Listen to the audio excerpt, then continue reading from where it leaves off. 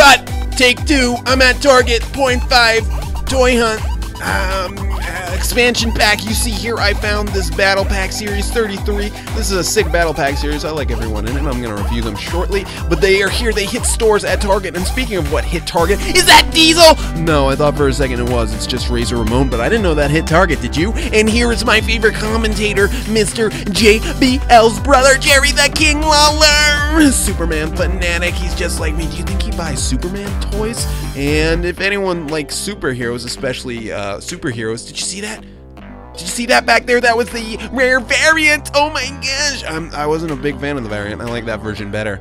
Um, and uh, did you notice how these have worse articulation than they than they used to? Oh my gosh! It's the '90s Beast that that was my favorite childhood TV show, other than Batman and and bananas and pajamas.